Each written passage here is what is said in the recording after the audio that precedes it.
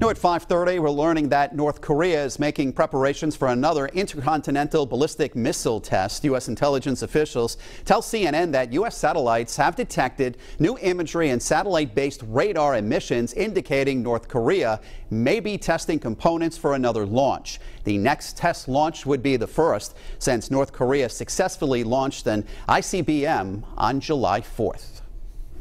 Eyewitness News analyst Lieutenant General Reginald Centracchio joins us now in studio to talk about the latest information. This missile U.S. officials are talking about, is that the missile that they mentioned that would hit Alaska?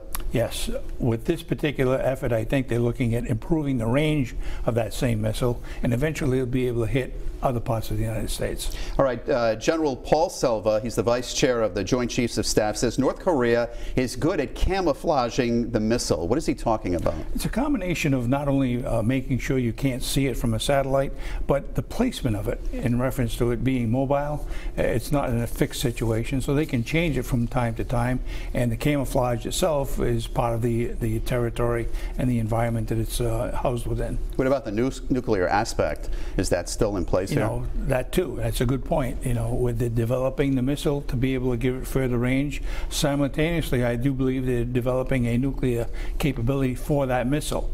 And once that's accomplished, then we need to be really concerned about uh, having a, a, strategy to be able to defeat that before they launch it.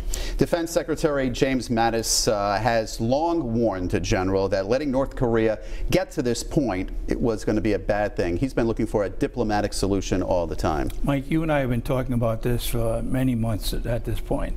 Uh, he's right. Uh, we don't know exactly where they are, but we do know the time to find out what their capability is is not the time after they launch So we're looking at certainly diplomatic ways, including China intervention, but the ability to determine exactly what they have to include being able to launch it not only from a fixed position, a mobile position, but from a submarine.